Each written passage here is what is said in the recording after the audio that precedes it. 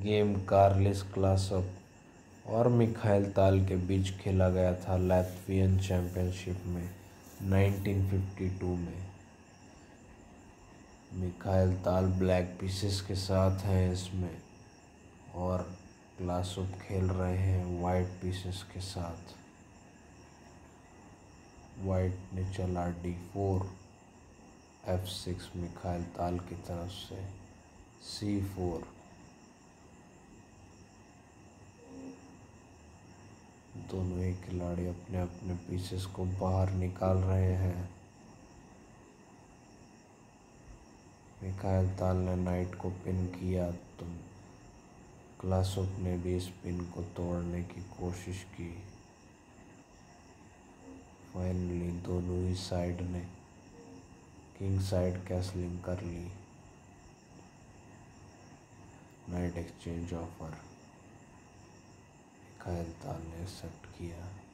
और ये पॉन ऐसी जगह पहुँचा है कि मिखाइल ताल को अपना नाइट मूव करना होगा। और मिखाइल ताल ने तब को चौंकाते हुए किया, इस पॉन को लिया। या क्लस ऑफ़ इस नाइट को लेंगे या फिर अपने बिशप को बचाएँगे वो। उन्होंने पहले पॉन लिया।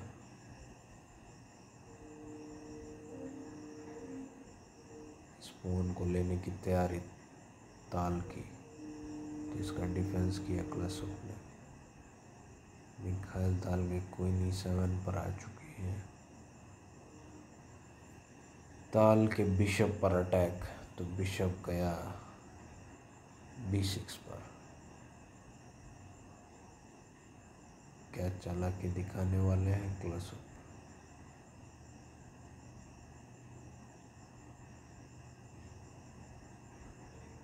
काफ़ी एग्रेसिव हो गए हैं क्लास अब ताल पर।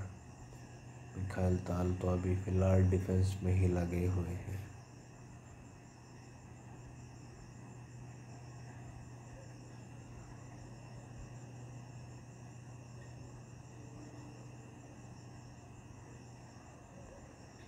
नाइट एक्सचेंज नहीं करते हुए जी फाइव चला क्लास अपने। मिखाइल ताल का नाइट सेंटर पे आ चुके हैं। काफ़ी ख़तरनाक मूव है ये क्लसुप का ताल पर। क्या चलने वाले हैं ताल? किंग ही मूव करना होगा।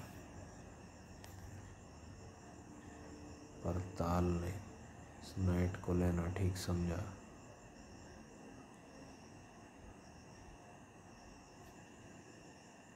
मिखाइल ताल ने भी चेक दिया। और ताल को अपना सॉरी प्लस को अपना रुख ज़्यादा प्यारा है। उन्होंने अपना किंग ही मूव किया। दोबारा चेक। अब ताल के मूव को देखिए कि वो क्या चलने वाले हैं। ताल ने चला ई टू डायरेक्ट धमकी दी चेकमेट की। इस रुख को लेके प्लस अपने डिफेंस किया। मिखाइल ताल सेक्रीफाइस पे सेक्रीफाइस मिखाइल ताल की गेम सेक्रीफाइस बिना खोज पाना ही मुश्किल है। मिखाइल ताल का ये बिशप क्या क्लास ऑफ़ लेंगे?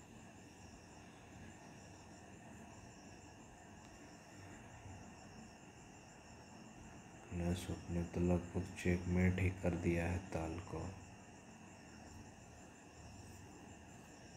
पर अभी ये बिशप ले सकते हैं ताल, और उन्होंने वही किया।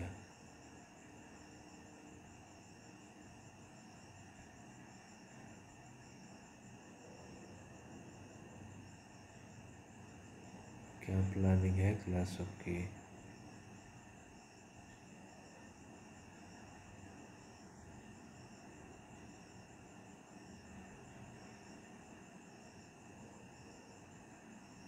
और इसके बाद क्लास ने रिज़ाइन कर दिया।